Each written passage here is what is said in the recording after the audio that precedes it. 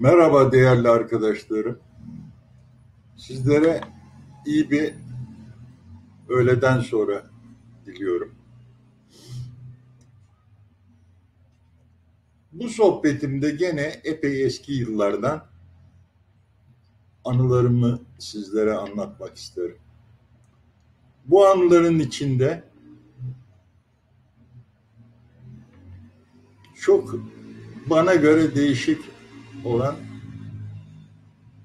ama belki de birbirini tek ve kendini tekrar edenlerin olması umarım sizi şaşırtmıyordur.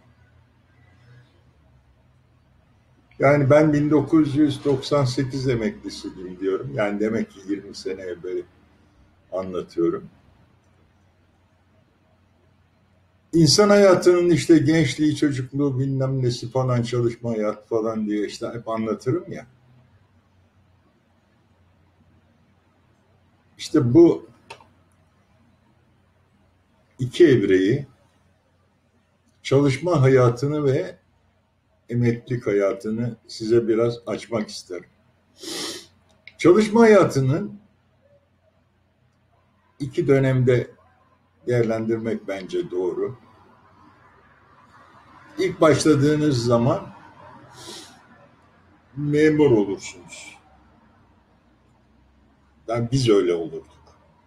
Ben çok şaşırmıştım. İşe giriyorum. İşte benim gibi sosyal oku okuyanlar işte ne bileyim yani işte iktisat bilmem ne falan okuyanlar işe başladığı zaman memur başlardı. Mühendisler şef başlardı. Yani adam herhalde doğarken mühendis olunca oğlum sen insan yönetme sanatını bilen birisin. Onun için sen şef başla demişler.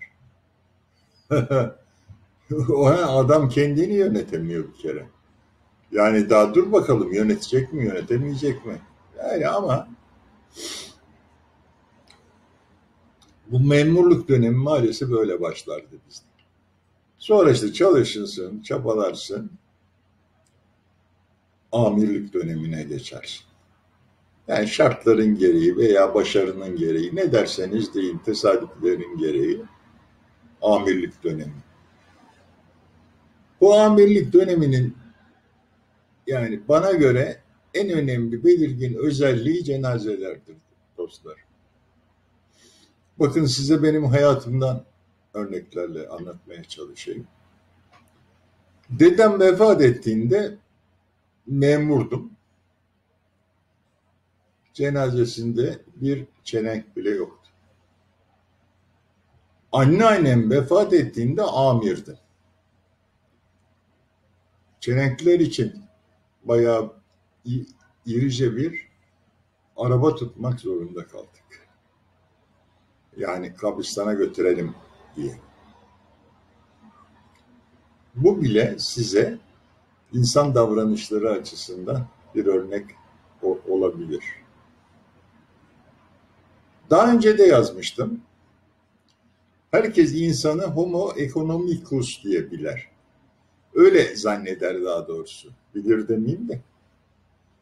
Yani ekonomi açısından olay. Hayır efendim.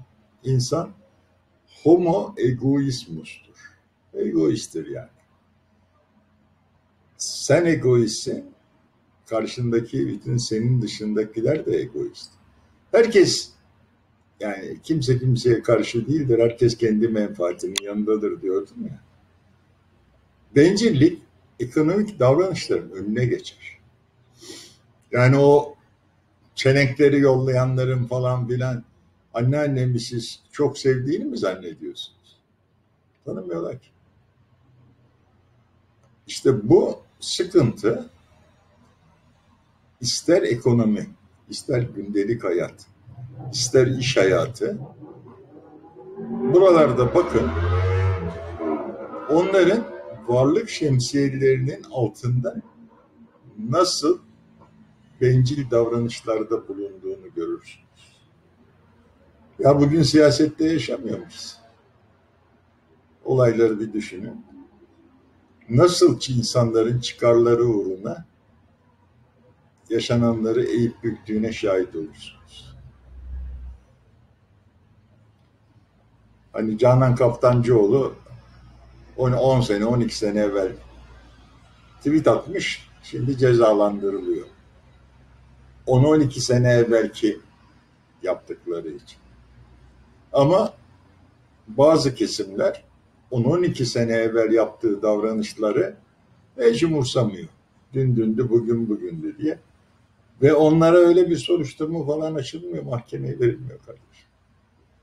İşte bütün bunlar yaşananları insanların nasıl yani bencil davranarak sağladığını gör, gör, görürsünüz. Bir de çok önemli gördüğüm bir şey şudur. Doğallık olayı verin elinize bir mikrofon tamamen ortadan kalkıyor. Adam doğal davranışlarında bulunmuyor. Adam eğer siyasete veya iş hayatının içindeyse hani olduğu gibi görünmüyor arkadaşlar. Bunu ben bir kere daha söylemiştim. Yani adam çok şen şakrak, esprili, harika bir insandır ki arkadaşlarım var böyle. İnanılmaz yani. Fakat mesleği icabı sabah bir yola çıkıyor. Evvela suratına taze manda bokuna basmış gibi bir surat yaratıyor. Böyle insanı aşağılayan bakışlar. Esprisi bol olan bir insan olmasına rağmen katiyen espri yapmamak. Bunu zaten François de la Rochefoucauld söylemiş. Doğal görünmek isteği kadar doğallığa engel olan hiçbir şey yoktur diyor yazar. Adam öyle mikrofona falan çıkınca bir doğal görünüm istiyor ama elbise üstünden dökülüyor. Yani bunu kime bakarsanız görürsünüz arkadaşlar. Değil mi? Yani ülkenin en tepesinde olan insandan bakın. Ülkenin o tepesinde olan insanın yardımcılarına bakın. Suratlarından anlaşılıyor ki hiçbiri doğal değil. Doğal davranışlarda bulunmuyorlar. Ben bu bakımdan emin olan arkadaşlar çok üzülüyorum. Kendi eğitim ve bilgisini fersah fersah aşan olayları anlıyormuş gibi davranıyor bazı insanlar. Böylece otoritelerini kaybetmediğini ve hala dünyada önemli bir insanmış gibi davranmak gerektiği için yapıyorlar bunu. Yani toplum diyoruz ya.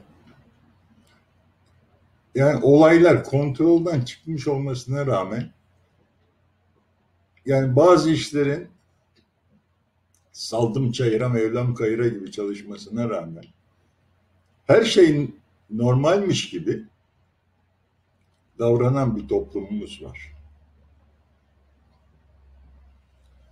Ben bu konuda insanları uyarmak isterim.